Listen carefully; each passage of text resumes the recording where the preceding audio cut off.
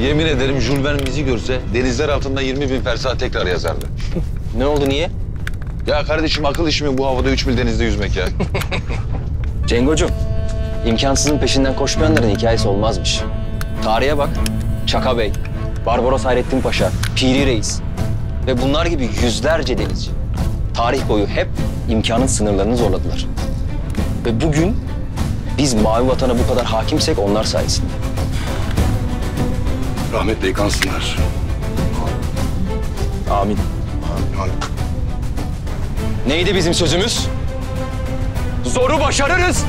İmkansız zaman alır.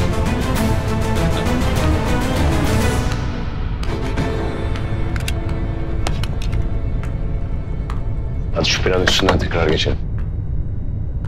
Akrebin yuvasına giriyoruz arkadaşlar. Birincisi kolay bir görev olmayacak. İkincisi başarısızlık bir seçenek bile değil. Gizlilik esas. Denizaltını deşifre edemeyiz. Bu yüzden tahliye için denizaltının gizli çıkışını kullanacağız. Ha bu arada size güzel bir haberim daha var.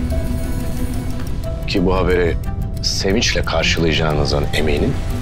Özellikle Cengiz. Belirlenen koordinata varmak için iki saat aralıksız yüzmemiz gerekecek. Bir sıkıntı mı var Cengiz? Yok. Güzel.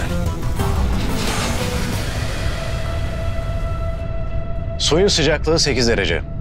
Düşmanda ne tür silahlar var bilmiyoruz. Bölgede dost kuvvet de yok. Denize çıkma noktasına yaklaştığımızda ikiye ayrılacağız. Selim'in timi iskele tarafını, benim timim sahil tarafını temizleyecek.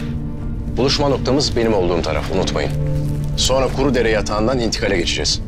Operasyon sonrasında tahliye noktamız ilk buluşma noktamız. Unutmayın sakın.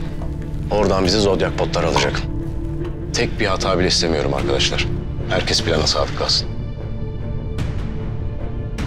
Şimdi bize emredilen yerde savaşıp savaştığımız yerde kazanalım beyler! Emredersiniz komutanım.